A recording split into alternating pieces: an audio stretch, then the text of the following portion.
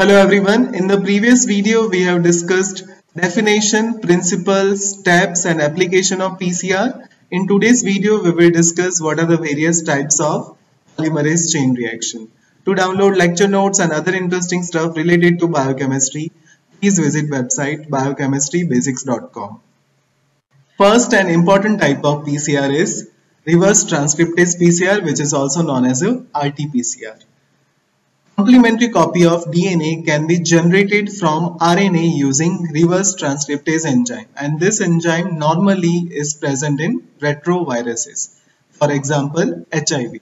The complementary DNA is then amplified for further studies. This reverse transcriptase PCR technique of using RNA as a template and generating cDNA followed by its amplification by PCR is called as a RT-PCR or reverse transcriptase PCR. By this technique, huge cDNA can be generated to produce desired proteins or to create cDNA libraries from the messenger RNA.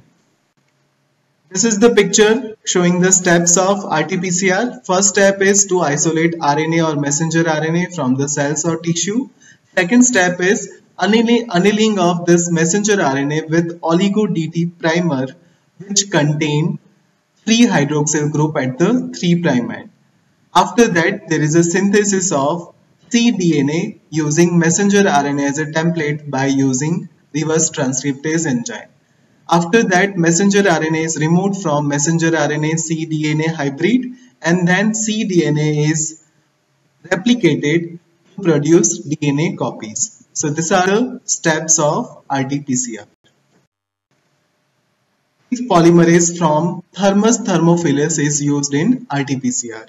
This enzyme has both DNA polymerase as well as reverse transcriptase activities this properties allows both cDNA synthesis from messenger RNA followed by PCR amplification. In ordinary PCR, DNA is detected and that DNA could be from living or non-living organism but in reverse transcriptase PCR, messenger RNA is detected that means it is derived from living organism.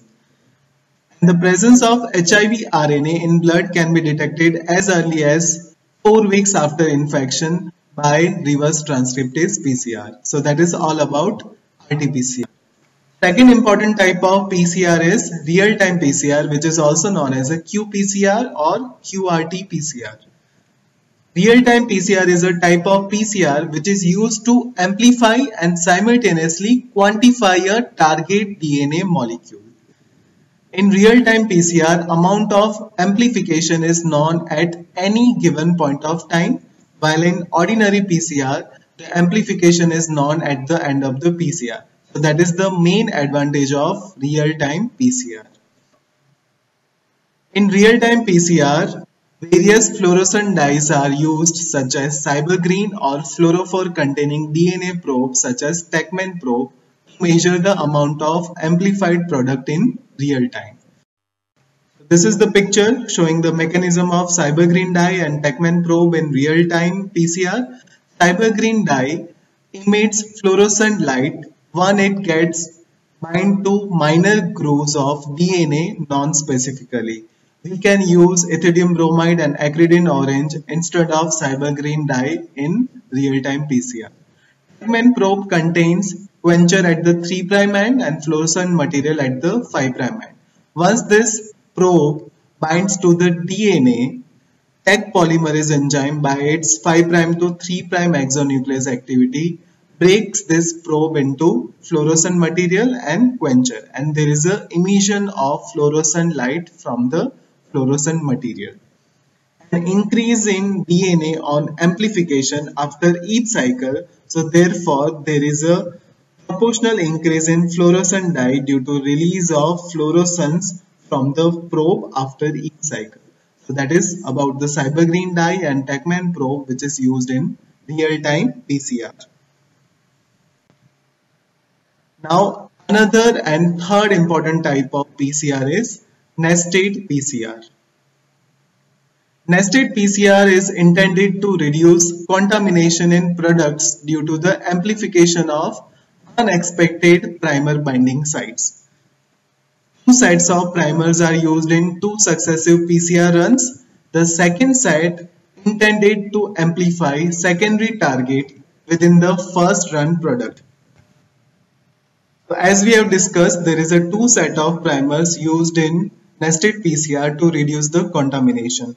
First set of primer is known as a outer primer and second set of primer is known as a nested primers. So first set of primers which is also called as the outer primers amplify large fragment of gene which is used as a template in the second round of PCR that targets smaller region of amplicon using the second set of primers which are also known as a inner primers or nested, nested primers. So that is all about nested PCR.